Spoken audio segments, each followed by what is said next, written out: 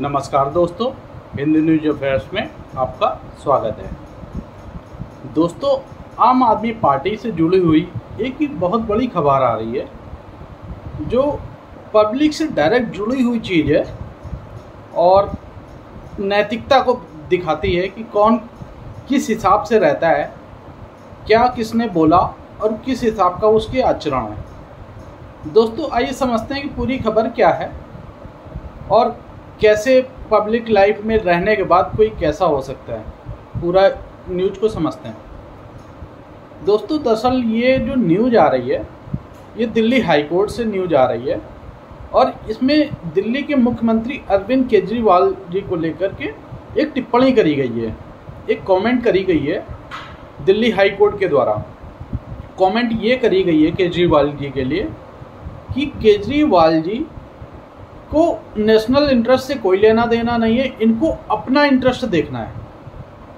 ये एक बहुत बड़ी कमेंट है कि इनको पावर इकट्ठा करके रखनी है और लोगों के बारे में नहीं सोचना है। ये कमेंट आखिर करी क्यों दिल्ली हाई कोर्ट ने, अरविंद केजरीवाल के लिए? दोस्तों, बात दरअसल क्या है कि दिल्ली में जैसे दिल्ली सरकार है, ऐसे एमसीडी में भी आम आदमी पार्टी की ही रूलिंग है।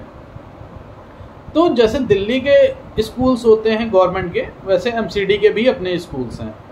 अब एमसीडी के जो स्कूल हैं, उसका अब नया सेशन स्टार्ट हो गया जो नया सेशन स्टार्ट हुआ है तो उसमें बच्चों को फ्री में किताबें दी जाती हैं। किताबें स्टेशनरी सारी बच्चों को दी जाती है। तो इस साल क्या हुआ कि उन बच्चों को स्टेशनरी वगैरह नहीं दी गई। जब दी नहीं गई स्टेशनरी तो इसके लिए एक एनजीओ है सोशल ज्यूरिस्ट जिसका नाम है। उसके वकील अशोक अग्रवाल जी हैं। इन्होंने एक पीआईएल डाली और सर हाई कोर्ट ने उस पर सुनवाई करी। और हाई कोर्ट ने दिल्ली सरकार से ये पूछा, दिल्ली सरकार के वकील से बेसिकली कि आखिर ये क्यों नहीं हो पा रही है? तो उन्होंने, दिल्ली सरकार के वकील ने ये बात बोली कि अरविंद केजरीवाल जी जेल में हैं। इस इस रीजन से दिल्ली सरकार में कोई डिसीज़न नहीं हो पाया और उनको किताबें नहीं दी गई। केस दोस्तों, ये एमसीडी का है, दिल्ली सरकार का नहीं। लेकिन वकील साहब ने बोल दिया वहाँ पे, आम आदमी पार्टी के वकील जो, दिल्ली सरकार के बेसिकली वकील थे, लेकिन उन्होंने बात इस हिसाब से रखी, जैसे कोई कहता नहीं, दया दिखानी, कि शायद हाई कोर्ट दया दिखा दे, उनको बेल दे दे, या कुछ ऐसा कुछ मतलब आ जाए पॉइंट में। बेसिकली वहाँ बेचारा बनने वाली चीज़ हो गई थी। तो इसी में हाई कोर्ट ने बहुत ही तल्ख टिप्पणी करी, कि आपको पब्लिक इंटरेस्ट से कोई लेना ही देना नहीं है। आपको बस अपना ही इंटरेस्ट रखना है। ये चीज़ दिल्ली की हाई कोर्ट ने बात बोली। दोस्तों, अब आपको ये समझना होगा कि ये रीजन क्या रहा, क्यों नहीं दिया गया? ये तो दिल्ली के, दिल्ली सरकार के जो वकील हैं, उन्होंने बोला। और आम आदमी पार्टी के अगर वर्जन समझते हैं तो आम आदमी पार्टी का कहना ये है कि एमसीडी की जो पाँच करोड़ से ऊपर के जो फैसले लेने होते हैं, वो स्टैंडिंग कमेटी के द्वारा लिए जाते हैं। और स्टैंडिंग कमेटी का गठन ही नहीं हुआ। ये इनका कहना है, आम आदमी पार्टी का। इसलिए जब गठन नहीं हो पाया तो लोगों को, बच्चों को किताबें मिली नहीं। ये आम आदमी पार्टी का कहना अब ये हुआ कि भाई स्टैंडिंग कमेटी का गठन क्यों नहीं हुआ? स्टैंडिंग कमेटी सबसे मतलब बहुत ही पावरफुल कमेटी होती है। इसका गठन क्यों नहीं हुआ?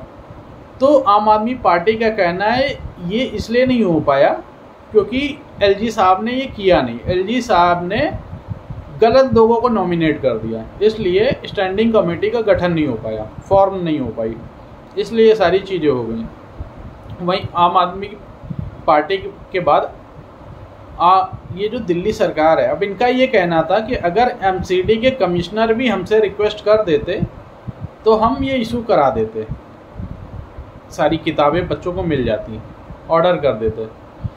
तो दोस्तों, अगर बच्चों को किताबें नहीं मिल पा रही हैं, दिल्ली की सरकार आम आदमी पार्टी की, एमसीडी में रूलिंग आम आदमी पार्टी की तो भाई साहब दिक्कत कहाँ पर है?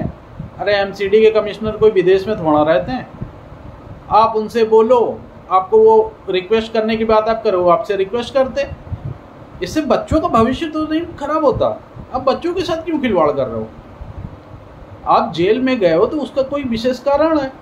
आप उस कारण के लिए आप कोर्ट में हो आप। कोर्ट में अपनी लड़ाई लड़ोगे। अपने अगर कुछ नहीं किया है तो आप वहाँ से बिल्कुल क्लीन चीट आपको मिल जाएगी। अगर आपने कुछ किया है तो आपको सज़ा भी होनी चाहिए। और जो आपने उससे अगर कुछ कमाया है, जो अभी आपको मिला है तो वो आप, उसकी भरपाई भी होनी चाहिए। लेकिन इसमें सब में कहीं पर भी बच्चों का तो भविष्य नहीं खराब होना चाहिए। आप जब आए थे आम आदमी पार्टी जब सत्ता में आई थी तो इनका क्या कहना था? यही सब तो कहना था कि हम भ्रष्टाचार नहीं करेंगे। लोगों के भ्रष्टाचार को ही दिखाकर तो ये इन्होंने अनशन किया था और ईमानदारी की बात करते थे और आकर चले आए। देश सेवा की ही बात करते थे। विचार अच्छे थे। लोगों ने साथ दिया। आप मुख्यमंत्री बन गए। एक बार नहीं, तीन बार बन गए। लेकिन जब मुख्यमंत्री बन गए तो आपको लोगों के भले का ही तो काम करना था। ज़रूर आपने अच्छे काम किए होंगे, तभी आप तीन बार बने अदरवाइज़ आप बनते नहीं। तो सर, इस बार भी कर देते हैं। बच्चों के भविष्य के साथ खिलवाड़ क्यों कर रहे हो? आपके मंत्री वगैरह सब हैं ही हैं। आप जेल गए। आपको नैतिक आधार पे आपको नहीं इस्तीफा दे देना चाहिए। आपको इस्तीफा दे देना चाहिए ताकि जो दूसरा कोई मुख्यमंत्री बनते अपने सारे काम सुचारू रूप से चलाते, अच्छे रूप तरीके से। कम से कम प्रदेश की जो जनता है, वो तो परेशान ना होती, उसके काम तो अच्छे से चल रहे होते। आप खुद सोचिए, जेल के अंदर से आप कैसे सरकार चलाएँगे? डिसीज़न तो लेने होंगे ना। डिसीज़न कैसे लिए जाएँगे?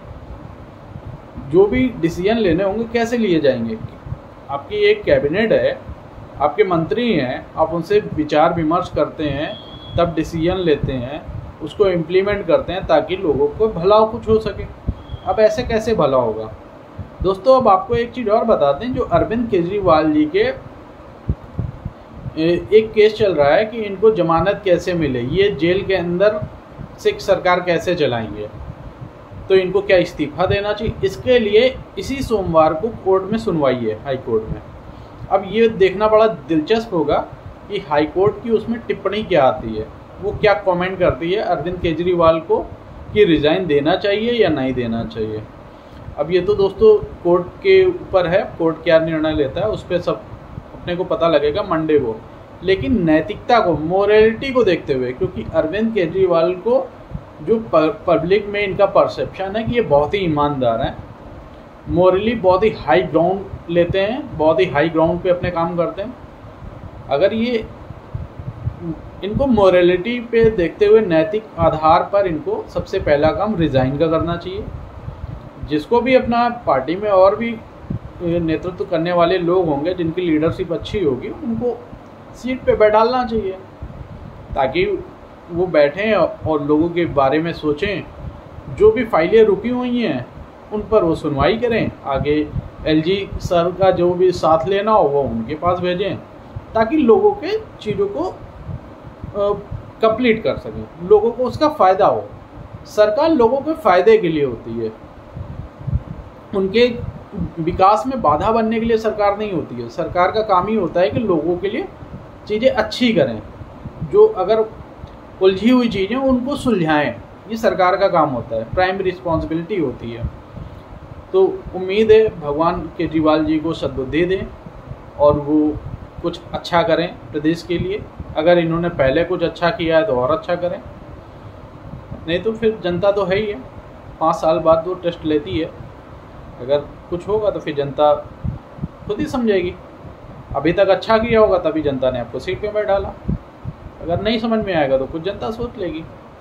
ठीक है दोस्तों, अब इस पर जो भी और डेवलपमेंट आएगी तो मैं आपके लिए अपडेटेड वीडियो लेकर आऊँगा। अभी तो दोस्तों बस इतना ही है। धन्यवाद।